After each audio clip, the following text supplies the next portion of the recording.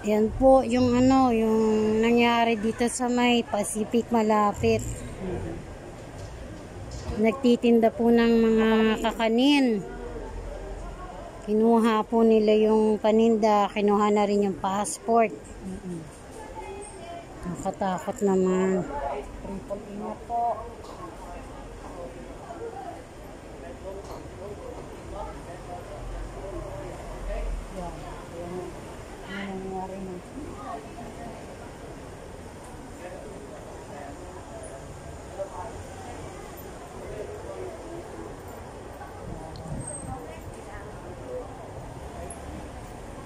Simplihan lang natin ang kuha. Baka ma madis madisgrasya.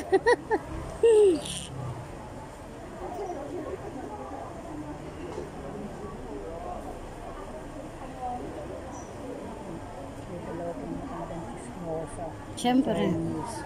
Siyempre. Parang tayo lang din yan.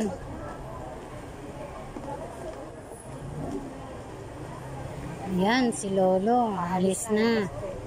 Mas maganda yan. Mas makikita po natin yung paninda. Nandun kasi sa likod ng sasakyan na yan.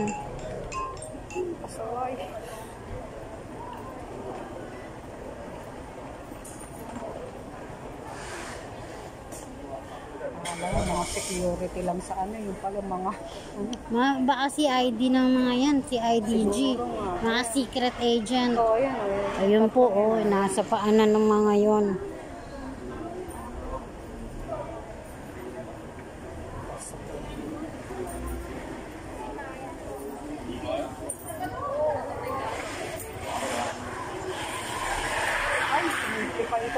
Ito ano pasaway. Ayun po, nala, nasa sa Pacific po, San Malo. Hmm.